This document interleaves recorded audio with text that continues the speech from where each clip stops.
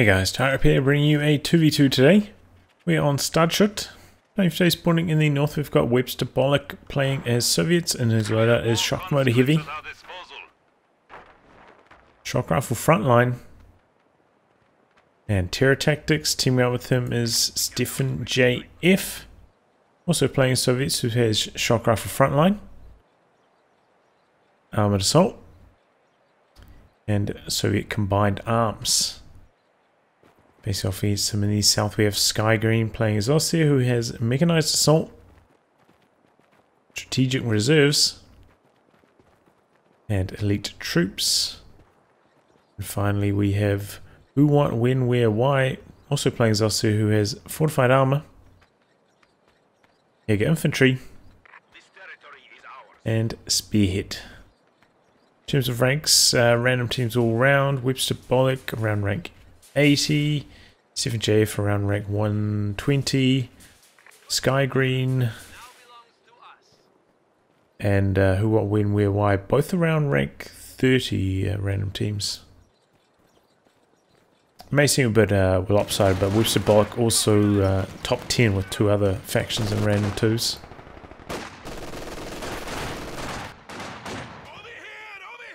So it makes it seem uh, not quite so lopsided. So we've got an interesting start here from who, what, when, where, why. Double machine gun, double pyro. Don't see that too often. Back the other way, Webster Bolek having gone for a early sniper here with a tier 1 start. Also somewhat unusual. He's charging in on the conscripts. Machine gun chipping in for some extra damage, but conscripts refusing to drop models, so the Pyres are going to lose that one. And some conscripts coming around the corner though, looking for the flank, but I think he spotted that thanks to the Pyros. Reposition machine gun and the Pioneers to compensate for that. But it looks like the conscripts managing to sneak behind the wall. Oh, and they get suppressed and forced away. Pies look like they're going to lose those conscripts though. Once again, some uh, bad model drops on the conscripts. Cause the pies to win. They can win those engagements. But just, uh, yeah, didn't get lucky on the model drops. That's how it goes. The enemy is taking what we have secured. But the Axis, you know, do have control of this fuel up here, so not the end of the world that who, what, when, where, why. It's been unable to cap it here. Are attempting to capture our territory. Conscripts do manage to sneak around the side of this machine gun though. This one repositioning. Hoorah, try and flank it. Wow, I'm really surprised I didn't get suppressed by that burst, but it was a super short one over the other machine gun reposition. Didn't end up retreating it, and it came in handy there, allowed him to force away that conscript squad. Did see a dive there from the conscripts onto the cutoff, and did cut the axis off there for a brief moment. So finally one kill for the sniper, not a rapid start for that. In for another one. And there we go. Soviet HQ now includes a field hospital. Is backing this up with conscripts. So it's going to need CKT grenades at some stage.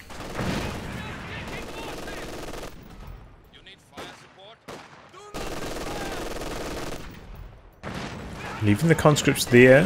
They're not taking too much damage while suppressed. Act as spotters for the sniper, since the sniper can't self-spot up to this range. At this level of veterancy quite yet. Orders. Here comes the M3. Very late M3 from Stefan, and it means that both of the Soviet players have gone for tier 1. Means they'll be very susceptible to light vehicles.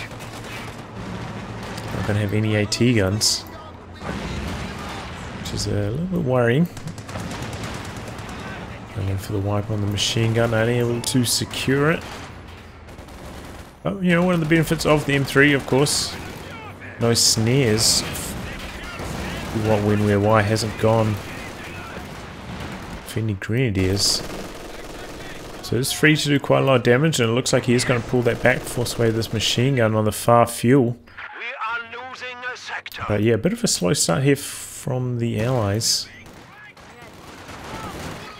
Maybe now they can get some damage done. Sniper backed up with a good number of conscripts. A little bit clumsy here with the conscript usage. Charging in here, maybe should just attacked from um, max range and a bit slow to bring the M3 in. Here it comes. Meanwhile, conscripts also harassing through the middle. And Sniper is finally stacking up some kills, up to 8 kills now. Looking up for lost time. Oh, rough nade, wrong side of cover. Almost gets the whole squad.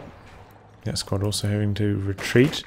And wow, just doubling down on the anti-infantry, going for some shock troops here.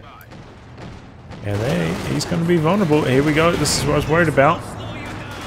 Stephen JF did have AT grenades. It's a sneer off, and now the 222 pulling back. Meanwhile, another 222 going hunting for the sniper. Which also has AT grenades. So they're you know, they're somewhat prepared for that. Conscious of AT grenades to help fend off these 222s, but they're not going to be able to kill them. So Stephen JF is going to go for some guards to assist, which is a good idea. Generally 222 is not that threatening that you have to worry about uh, getting completely overwhelmed by it with guards, unlike the Flamer half-track. So, you know, AT grenades and the guards should be able to fend off the 222s. But once again, not going to be able to kill them. Webster Bolek going for an early tier 3 tech here. I wonder if he's thinking about going for the quad. He does have quite a lot of munitions in the quad. Does match up very well against 222.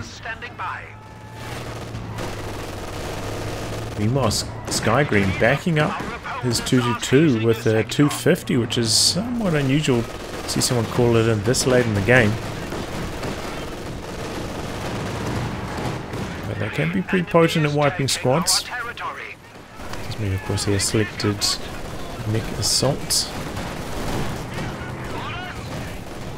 Guards and shock troops on the retreat path of this 222. I don't think it's going to make it home.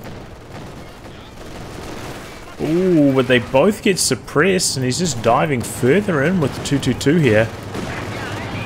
Looks like the 250 went sniper hunting but couldn't get it.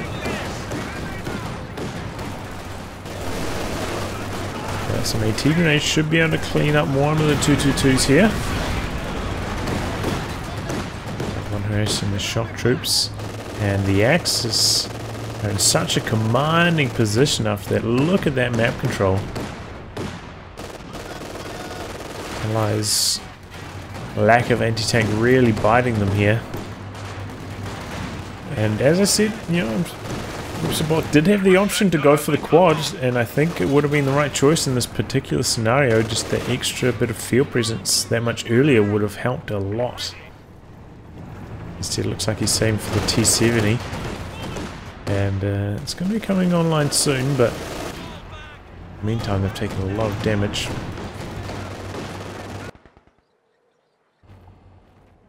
But yeah, don't be afraid of the quad. Especially against Aussie, it is pretty good.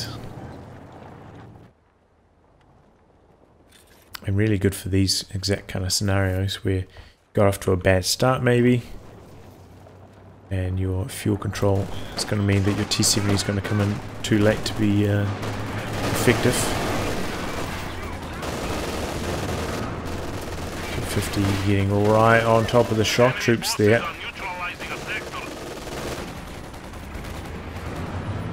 And wow, sniper from S Stephen JF as well.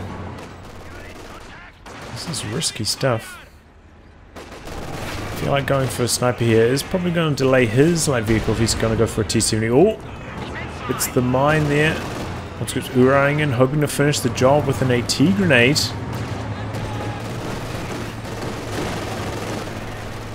Grenade goes off. Don't quite manage to get the AT grenade off. He hasn't yet. There we go. Starts backing away with it again.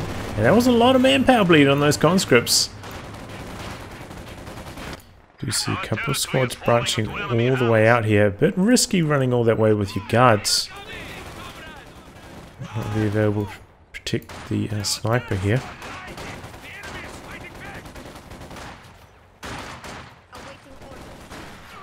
There we go. Takes its first shot. And both the pea greens being chased away there. Okay, no tick up. No tick up from either of the Axis players yet. Which means they're going to be late to their medium tanks. Which means that these light vehicles from the Allies are going to actually have a chance to fight themselves back onto the map.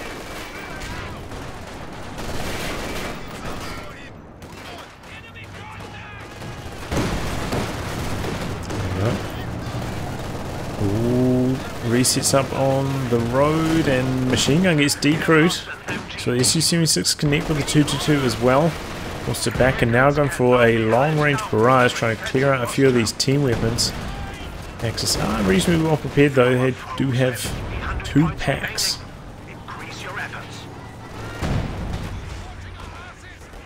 A nice idea here, branch out to the far side. The sweeper. Looking to relieve a bit of that VP pressure. Allies already down to 280 now. Here comes the T-70 running straight down the middle. A bit risky given uh, what he knew about the pack positioning earlier, but it looks like the pack is pulling all the way back, and that doesn't allow T-70 to decrew the machine gun out here. He does have... Oh, Vet 1 on this uh, half-track can reinforce from it, so could, yeah, technically come over here and recrew this. Oh boy. C-76 knocks that out. I don't know how he had sight of that. Oh, I guess it was from this sniper, actually. And uh, all of a sudden, a massive reversal in favor. And now the allies are just giving it to the Axis. Pack could also get decrewed here potentially. But yeah, they managed to steal away the MG42, kill uh, all of the light vehicles. No, still one two two two left. But yeah, they've they've fought back valiantly here. Okay, we've got tier 3 going down now for Sky Green. Yeah, it's gonna Okay, he's gonna just make the tick timing. Incendiary artillery, but the squad's run forwards past it. And now a recon plane, that is Soviet Combined Arms by the way, from Stefan JF.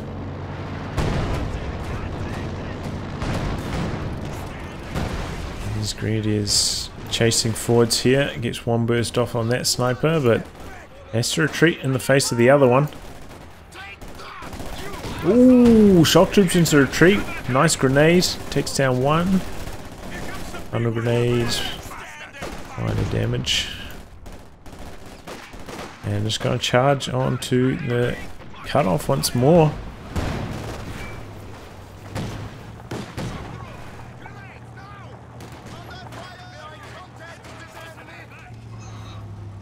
Okay, who, what, when, where, why? Uh, hasn't got his tick down yet.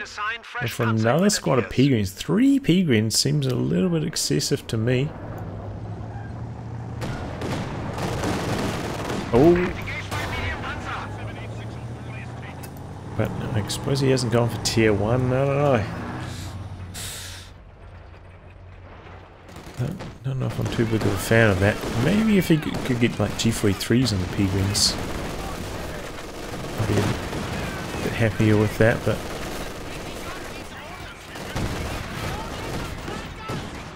Okay. Conscripts charging down the center. Sniper trying to get rid of the machine gun and does. Decrewed there. Goes to recrew with one of the Pios. Trying to get out now. C-76 connecting with 222 trying to smoke out.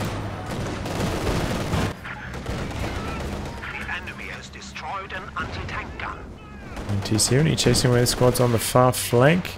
And once again, the pack did get decrewed. I don't know how he didn't get out of there in time. And now that's going to be killed, it looks like, by the SU-76. Oh, Greenies coming in from the side, Sniper running away, Faust connecting with the SU, so Hack's still alive, and I think I heard a Tellermine over here. Stephen JF losing his T70. Is that it there?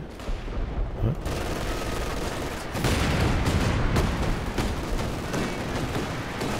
And here we go. Flak Panzer from Sky Green. I think this is actually a pretty reasonable choice. Does still do pretty good damage against the Su-76. It's to feel a little bit earlier than the Panzer IV and it's quite effective against the high squad sizes from Soviets. So I think it's a pretty good spot to go for the Flak Panzer, especially given how shaky the Axis fuel control has been over the last few minutes. Sometimes trying to stall extra minute or two to get the Panzer IV over the Flak Panzer can be disastrous. You just lose even more map control. It can come in even slower than you expect. But the fact that he's not uh, getting a little bit more aggressive with it right now is a uh, major mistake. Especially while the Su-76 is out of commission. The damaged engine. He should be maximizing it. Maximizing damage he can do with it. I do have a recon plane up now though, so maybe that will mean that he'll get a bit more bold with it. 222, I think that, that kind of looks like a suicide mission to me. Could easily go down to uh, another AT grenade and small arms damage. Goes back to throw the second AT grenade. And there we go, Su-76 is back. Healthy again. Looks like he's going to get a AT grenade off here, but Pack returning fire on the Su-76. Su pulling back. Also getting away. Oh, but speaking of getting away, the conscripts for Webster Bolek do not. They go down. Now he's uh, very light infantry. Probably needs to rebuild one of those squads of conscripts. Or, you know, just get a sh squad of shock troops. The risk there is he's not going to have enough snares. Could leave his sniper a little bit exposed. There's still this 222 running around, remember. And go for a dive on the sniper. If given the opportunity.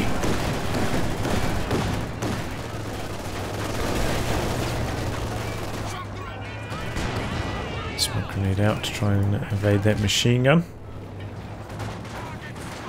Su-76 looking for the 222 but unsuccessful.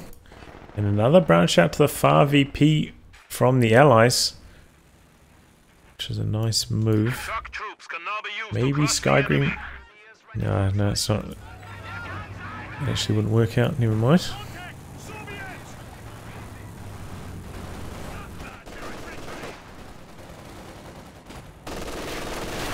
So VPs are stalled, but guys did fight back quite nicely. You know, they've drained maybe 20 VPs in, in the same period. The Axis have drained 100. So they're, they're making their way back into this game, and the double snipers, if they don't die, they can cause the uh, manpower situation to become very lopsided.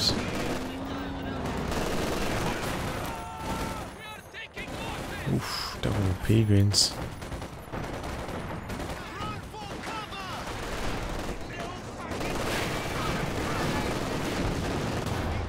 Made in, forcing away the guards.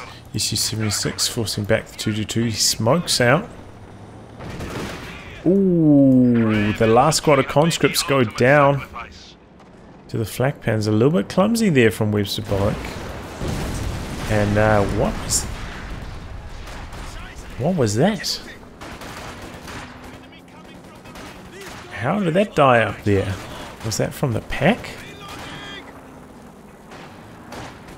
Did he run over like a mine that was piled up there somehow? It's a mystery to me. Comes a T-34. Where is the pack? Got one nearby. Quite in range though. 222 going in. Oh, and he does pick off the sniper this time. And now Smoking trying to escape from the T-34. Might be able to. He's a little bit faster. T-34 unsuccessful with the chase down. So there we go. Sniper down for Stefan JF. And with Webster Bolek also having some questionable squad preservation. Axis are pulling back into the game now with the army side's lead. Also have a counter snipe attempt here from Sky Green, getting himself a sniper, looking for the Vet 3 Soviet sniper. And this is where the recon planes both ways can come in handy. I don't know... Oh, here we go. Right in front of the Aussie sniper. Does he notice? Oh man, he's right there for so long. Okay, here we go. Here we go. There we go. Sniper down. See, sniper escapes. Notice the Aussie sniper got Vet 1 straight away. Usually, you know, like Vet 0 snipers won't give you Vet 1. They, I think they give you about two thirds of a rank. But yeah, fully Vet sniper will give you Vet 1. Can be handy if you need to uh, quickly fire an incendiary shot after going for that counter snipe. Panther ready. Heavy Panzer here. Okay, Panther coming in for who, what, when, where, why. see what he can get done with it. There's one T-34 on the field at the moment. But not too much else. Sabonic looks like he's saving for his IS-2. Rather confusingly as well, going for a munitions cache here. So trying to get himself any extra forms of anti-tank. Which is uh, very risky. Because not having too much luck getting around this machine gun here. Even the conscripts pushing them away. And the resist just continuing to blast away. He even pulled back with the Panther. And takes a couple more hits. That's a big repair bill.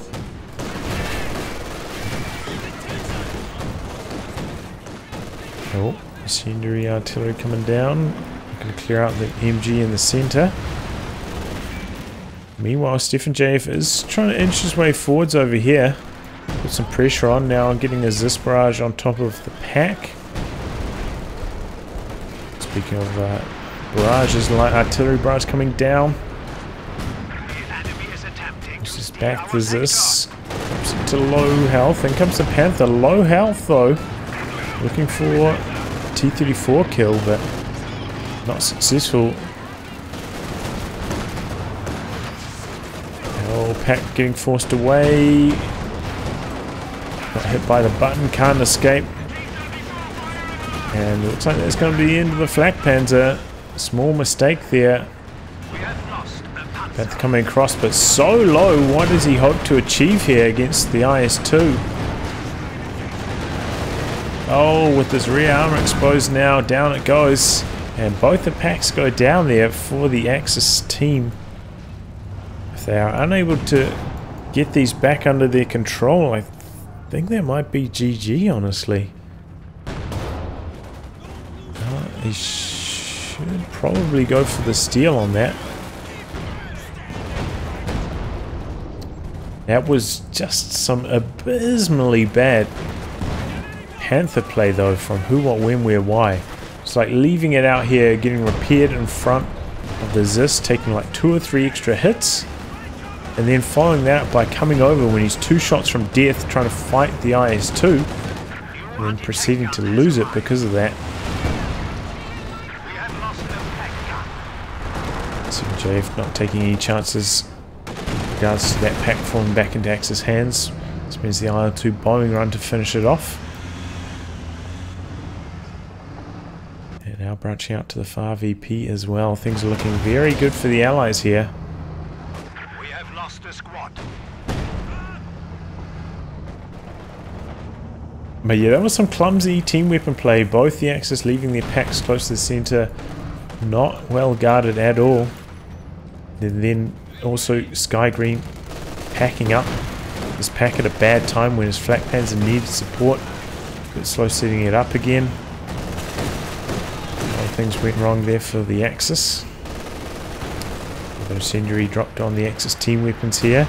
Triple cap now against the Axis as well. They, well, just about to get a wriggle on here. They are falling out of this game very quickly. We've got a Tiger coming in from Sky Green.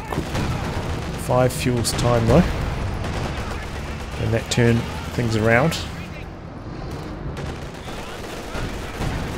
Ooh, Pack gonna get decrewed here again. somehow surviving to get another shot off. I don't know. That was a miracle.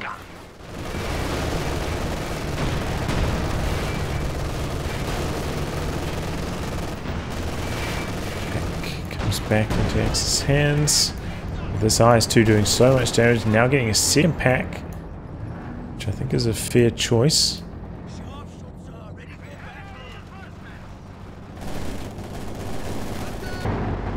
And here we go.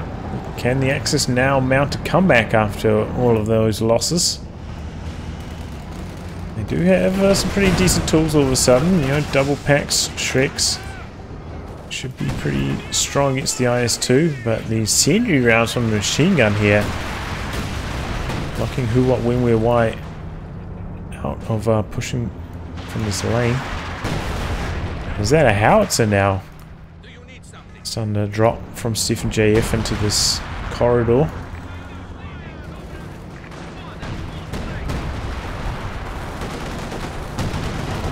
Oh, IS-2 takes another hit, but no snares. So uh, should be able to get away just fine. Sniper also escaping on low. Oh, guts. Late retreats. T-34 coming in and uh, do end up retreating. Meanwhile, Tiger locking down the far flank for Sky Green, now pushing across to the centre.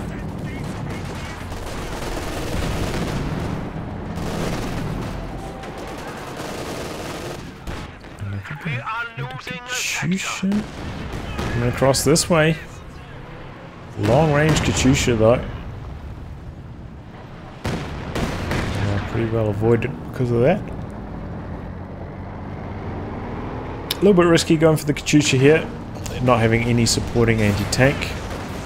Safer choice would have been an SU-85. Can't deal with this Tiger, but... Alright, we'll see how he gets on.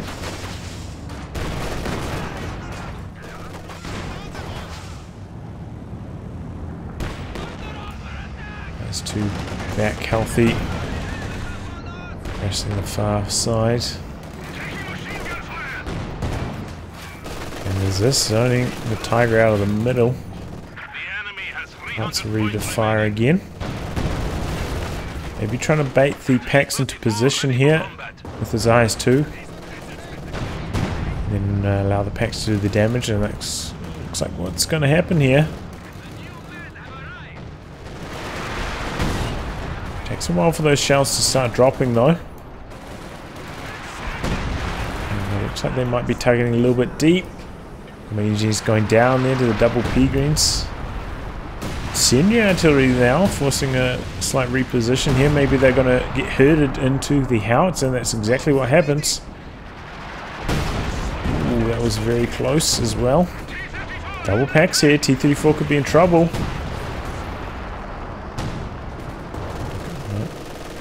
This one took a little bit too long to set up. Killing blow. Okay, T34 is very low, but IS-2 still healthy. And Pack could be in a little bit of trouble here.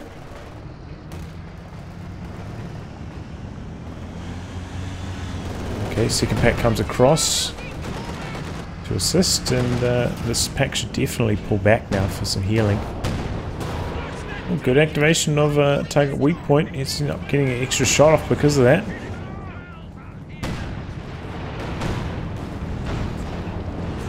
Ooh. He's in the middle in trouble. Ooh. Katyusha almost takes down the machine gun as well. Artillery dropped on the uh, AT gun and he gets the kill. Should come in here maybe for the follow-up. No, he's got guards there. It's a little bit risky now.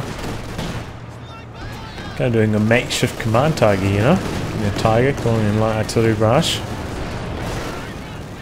Very similar to what OKW Tiger gets up to, those kind of shenanigans.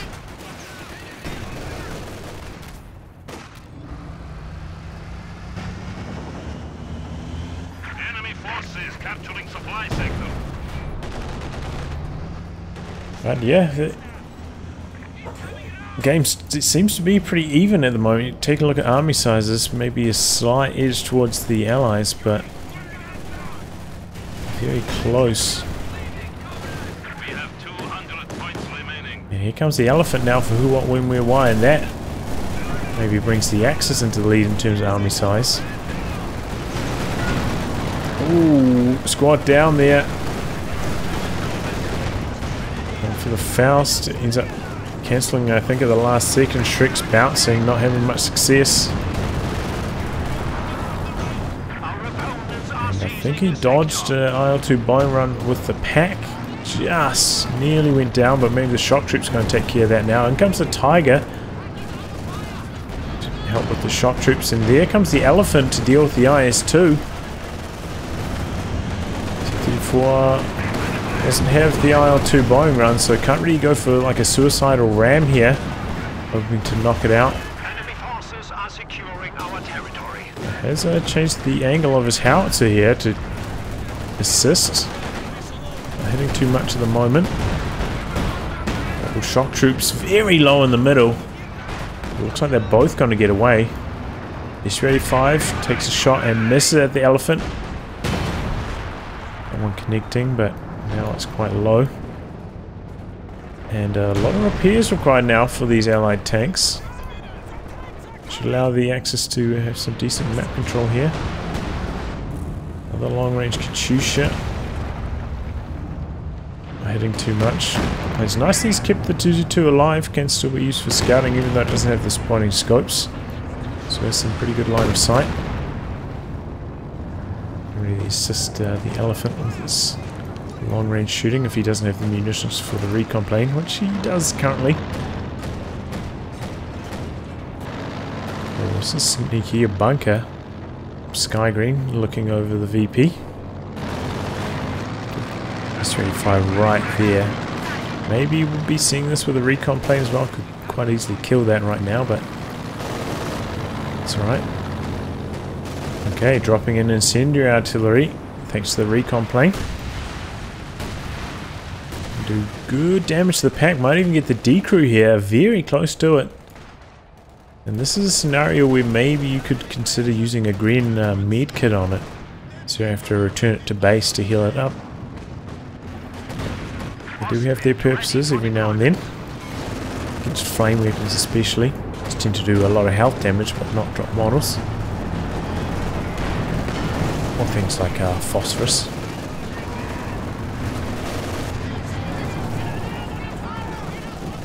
A uh, risky position right the way forwards with shock troops right on top of a double grenade. It's the D crew. They're coming in. It's one AT grenades and now some howitzer fire coming in. Oh! Oh, that shock troop went down in the blink of an eye there. Tiger and Flak Panzer just melting it. Oh boy, what we have here?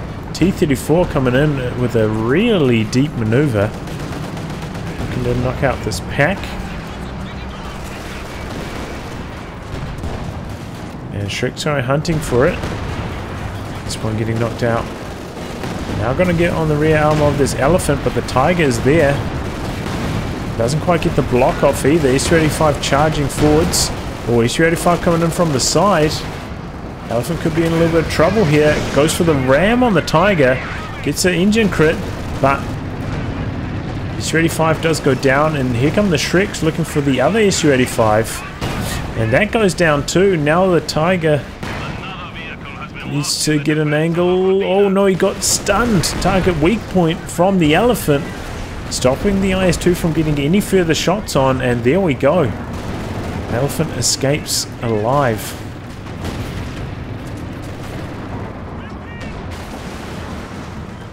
And that just didn't quite work out from the Allies. There's enough anti-tank in the vicinity from the Axis that that aggressive play did not pay off. With the Allies, they nearly took down the Alpha, but not quite. And yeah, after that, they lost too much. IS-2 down, T-34 down. Both SU-85s way behind in army size, as you can see. I think that's a reasonable time to call GG. Maybe slightly early, but not too bad. Well, I'll wrap on that, guys. If you like your game to be cast by me, details are in the video description below. Otherwise, I'll catch you all for the next thrilling installment. Goodbye, and good luck.